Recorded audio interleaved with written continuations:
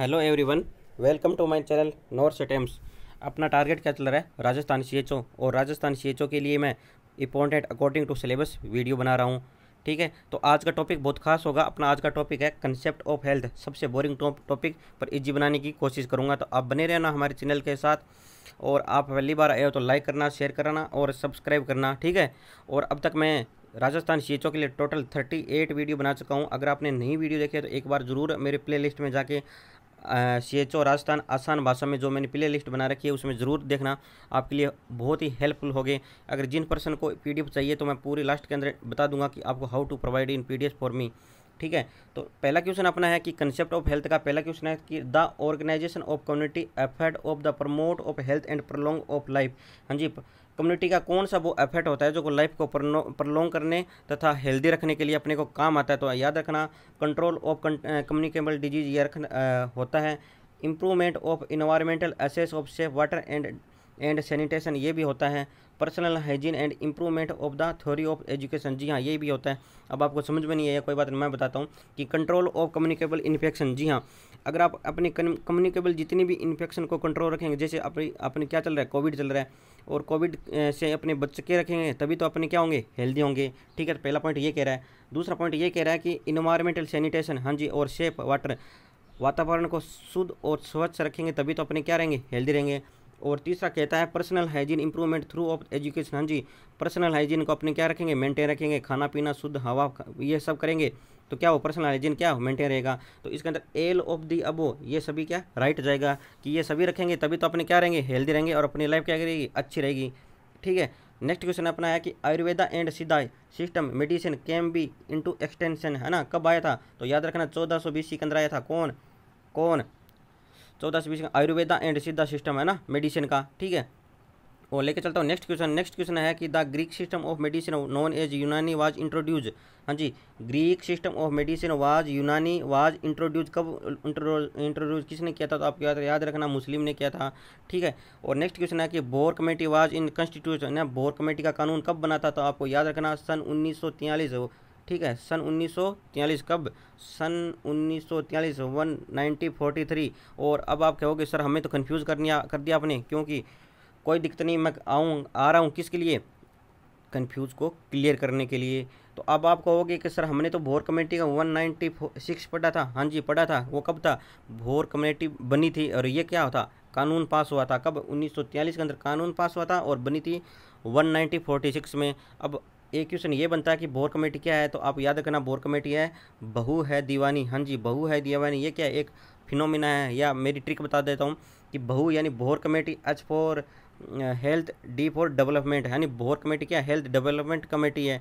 ठीक है? तो याद रखना, बहू है, दीवानी। ये एक गलत वे में नहीं लेके जाना, ये एक ट्रिक है। और अगर हमारी ट्रिक वाला वीडियो नहीं देखा हेल्थ प्रोग्राम वाला तो आप वो ज़रूर देखें, कहाँ पर जाके? प्ले लिस्ट में जाके। नेक्स्ट क्वेश्चन पाँचवा है कि C H E B stand for हाँ जी सी एच ई बी की फुल फॉर्म पूछेंगे आपको किसमें राजस्थान सी एच ओ में तो याद रखना डॉक्टर साहब। सी एच ई बी की स्टैंड है सेंट्रल हेल्थ एजुकेशन ब्यूरो हाँ जी सेंट्रल हेल्थ एजुकेशन ब्यूरो क्या है? सी एच ई बी की स्टैंड फुल फॉर्म है तो याद रखना ये क्वेश्चन पूछा जाएगा। कंसेप्ट ऑफ़ है किसकी? कंसेप्ट ऑफ़ हेल्थ का है, ठीक है? और नेक्स्ट क्वेश्चन है subjective sense of feeling unwell क्या होता है? ठीक है? तो आपको याद रखना है subjective sense of feeling unwell यानी मैं अनहेल्दी हूँ, क्या होता है? ये इलनेस की वजह से होता है, ठीक है?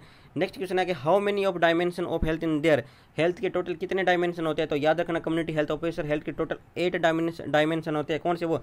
आपने पढ़े थे ना बचपन में? फिजिकली मेंटली सोशली है ना? ये क्या हेल्थ के डायमेंशन है, ठीक है?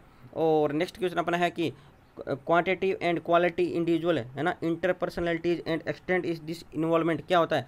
सोशल हेल्थ है ना? जो सामाजिक रूप से एक दूसरे के मिल के रहते हैं, कौन से क्वांटिटी और क्वालिटी इंटू इंटरपर्सनलिटीज है ना? एक दूसरे से इंटरपर्सनलिटी यानी एक दूसरे से मिल के रहना। तो क्या कहते हैं? सोशल हेल्थ के द्वारा ही रहते हैं। और नेक्स्ट है अपना कि theory of concept cause of disease क्या है? तो आपको याद रखना theory of concept cause of disease कहते हैं कंटाजीन थ्योरी क्या कहते हैं? कंटाजीन थ्योरी ठीक है नेक्स्ट क्वेश्चन अपना है कि हेनली कोच पोस्टुला एक्सप्लेन क्या है?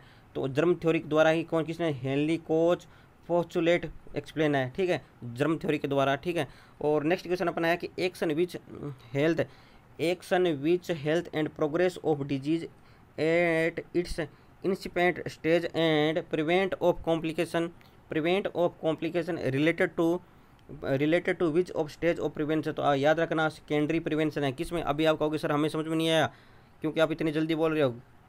कोई बात नहीं, मैं स्लो बोल के बता देता हूँ कि action which health the progress है ना? हेल्थ की एक progress disease at incipient stage and prevent of complication अपने को क्या कॉम्प्लिकेशन हो रही है, उसको प्रिवेंट करना है। डिज़ीज़ तो आ गई शरीर के अंदर, परंतु इनको कॉम्प्लिकेशन से प्रिवेंट करें। जैसे किसी पेशेंट का हाइपरटेंशन है, अपने क्या डेली उसका बीपी मॉनिटरिंग करें मॉनिटरिंग करें। तो अपने क्या कॉम्प्लिकेशन से प्रिवेंट करें ना तो उसको कौन से लेवल का प्रिवेंशन होगा तो आपको याद रखना ये सेकेंडरी लेवल का प्रिवेंशन होगा।